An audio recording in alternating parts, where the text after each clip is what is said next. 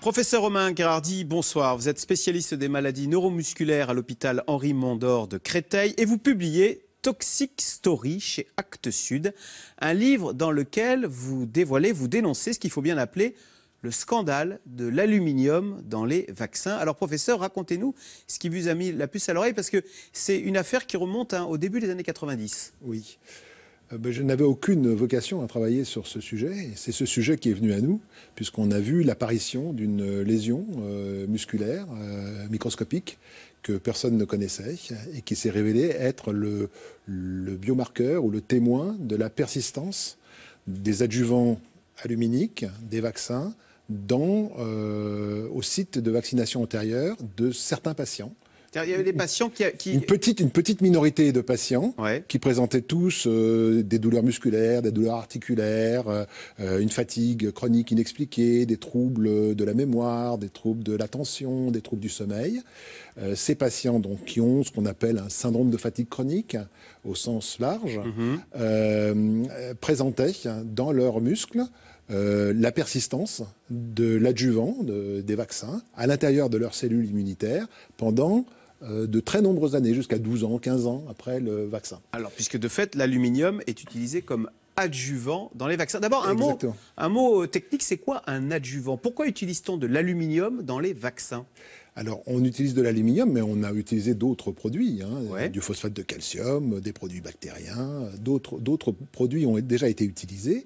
Et euh, le but est de stimuler suffisamment le système immunitaire pour qu'il reconnaisse bien l'antigène du vaccin et monte une bonne immunité contre le, contre le vaccin. Ça va renforcer Ça renforce la réponse, immunologique et sans adjuvant, on n'y arriverait pas. Alors, professeur, je vais vous dire, on a du fer dans le corps, on peut avoir de l'aluminium. C'est mauvais ah. l'aluminium? Ah ben c'est très mauvais. Ah l'aluminium, c'est euh, un indésirable absolu dans les, euh, dans les métabolismes du vivant. D'ailleurs, si je ne me trompe, il n'a pas été mis en cause dans l'affaire des déodorants Bien sûr. Hein, on en trouve dans les déodorants, c'est ça, en pchit dans les déodorants et euh, sur une aisselle qui a été rasée avec des excoriations cutanées, des petites plaies. L'hydroxyde d'aluminium des, des, qu'on trouve dans certains déodorants va être capturé par euh, les cellules immunitaires, un peu comme l'adjuvant du vaccin. Et on l'a peut-être à l'origine de cancer du sein. Alors c'était pour, le, pour, pour, les applications des antitranspirants, euh, il a été accusé euh, d'induire le cancer du sein, ce qui reste à démontrer complètement. Enfin, il y a des arguments expérimentaux. Alors, contre-argument, vous citez dans votre livre, l'aluminium dans les vaccins, il y en a depuis 1926. Bon, ça va, ça fait presque un siècle, on n'est pas tous morts. C'est même ça, eh bien, bien, entendu. C'est-à-dire, heureusement, l'immense majorité des vaccinés n'ont pas de problème avec, avec l'aluminium. Avec l'aluminium. Et euh, même les problèmes qu'on pointe sur l'aluminium ne sont pas de nature à remettre en cause le bénéfice de la vaccination. C'est ce que vous dites dans votre livre. Vous n'êtes pas du tout un ayatollah anti-vaccin, vous êtes pour les vaccins, vous dites, mais il y a des techniques de vaccination qui sont nouvelles et qui nous mettent en danger. C'est quoi ces techniques? Alors pourquoi, pourquoi aujourd'hui l'aluminium est-il plus dangereux qu'il ne l'aurait Pas forcément plus dangereux, mais on a ignoré qu'il était dangereux parce qu'on pensait qu'il était rapidement éliminé de l'organisme après son injection. Et nous avons maintenant la, la preuve absolument certaine que ça n'est pas le cas, et notamment chez certains individus à risque, ils n'arrivent pas, tout simplement pas, à débarrasser leur système immunitaire de cet adjuvant. et que cette persistance d'un immunostimulant qui va, va travailler pendant de longues années à toujours stimuler le système immunitaire est en soi un problème. Et nous pensons que c'est un candidat sérieux qui doit être euh, euh, examiné pour euh, sa responsabilité dans les syndromes de fatigue, de douleurs musculaires, dans la population générale, qui touche 1 à 2% de la population quand même. Hein. Donc ce n'est pas un petit sujet, c'est un gros sujet. L'immunostimulation chronique, elle peut déboucher sur, sur les maladies auto-immunes, elle peut déboucher sur les maladies neurodégénératives, elle peut déboucher sur le cancer. D'autant que cet aluminium, il remonte. Vous avez fait des études? Oui. Et vous l'avez trouvé où ensuite? Alors, le, le, Parce qu'au début, le dans premier, le muscle. Le premier dogme qu'on a, qu'on a, qu'on a mis par terre, c'est de montrer qu'il n'était pas éliminé en quelques jours ou quelques semaines après l'injection. Le deuxième dogme, c'est qu'il ne reste pas localisé à l'endroit où on, l'injecte, mais il est transporté par les cellules de l'immunité à distance vers les ganglions, vers la rate et éventuellement euh, vers le cerveau. Ça, ça a été montré en conditions expérimentales de façon certaine. Vers le cerveau. Vers le cerveau. Et donc, dans le cerveau, il est spécialement indésirable parce que c'est un neurotoxique euh, connu de très longue date. On sait que le, que l'aluminium est neurotoxique par au moins 10 mécanismes euh, différents et tous plus indésirables les uns que les autres. Et alors, quelle, pathologie ça pourrait déclencher? Est-ce que ça pourrait expliquer la, les, maladies d'Alzheimer ou des ah, choses comme ça? des, des, des, gens sérieux on, se sont posé la question. Il y a des conditions expérimentales qui laissent penser que si ça n'est pas la cause première de l'Alzheimer, ça peut être un facteur, un facteur euh, aggravant qui va rendre l'Alzheimer plus précoce, euh, qui va en faire des formes plus graves. Donc il y a des éléments qui euh, expérimentaux qui euh, permettent de se poser sérieusement la question. Alors que vous disent les labos? Que répondent les labos? Eh ben, Les labos, naturellement, ne sont pas très enclins à changer complètement euh, un adjuvant qu'ils ont utilisé depuis 1926, comme vous, vous le disiez, Sauf que vous euh, dites, sans problème. Avant, les, vaccins étaient sous-cutanés, maintenant ils sont en intramusculaire. En intramusculaire, ce qui nous a permis de, de, de, de, lever le lièvre, si vous voulez, par la, biopsie musculaire.